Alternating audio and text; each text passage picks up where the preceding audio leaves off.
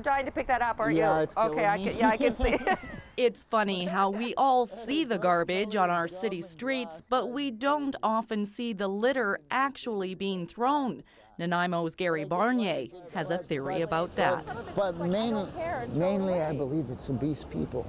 the what people? Obese. Oh, Because like any addiction, or any addiction, alcoholism, or anything else, you hide it. Of course, there are many other theories about litter, and Gary has lots of time to think about them.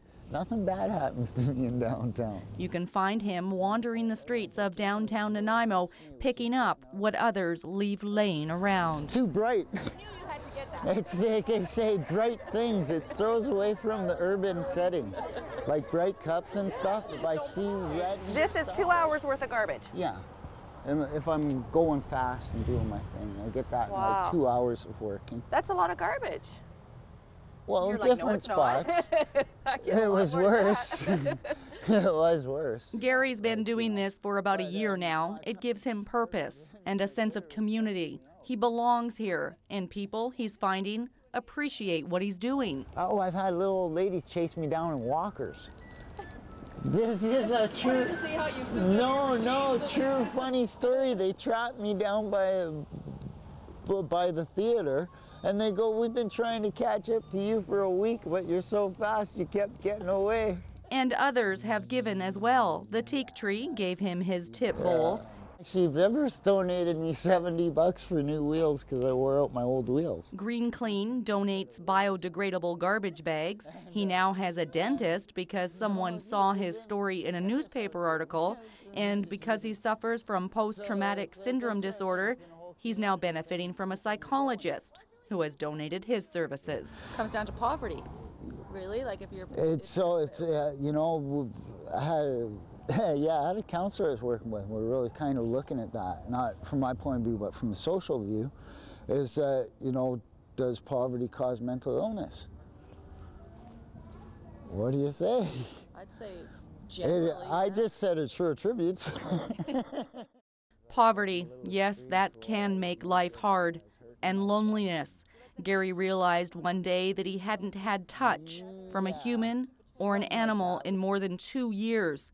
He was encouraged to find a companion. so we decided we need a pet, and then it was like, what kind of pet do you get? Because you can't really take care of a dog, and and you wanted something that was interactive. And we didn't really know much about guinea pigs, but he's like a dog.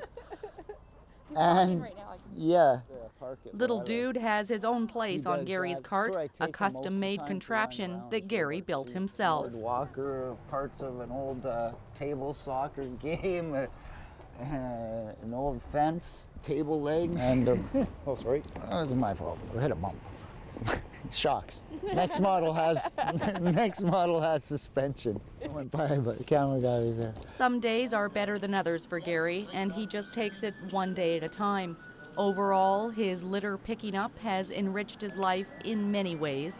What is his hope? That someday his litter picking contributions will help him find better housing.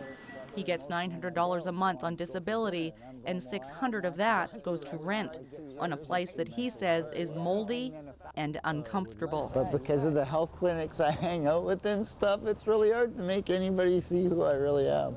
He'd love to get into the low barrier housing units that are scheduled to open on Wesley Street later this year, but he's scared he'll miss out. Little dude. In the meantime, Gary and Little Dude walk the streets of Nanaimo, making it a little bit cleaner and a little bit brighter. They're building friendships Well, we'll go pick up some litter. and warming the hearts of almost everyone they meet. In Nanaimo for Shaw TV, I'm Kate Bergen.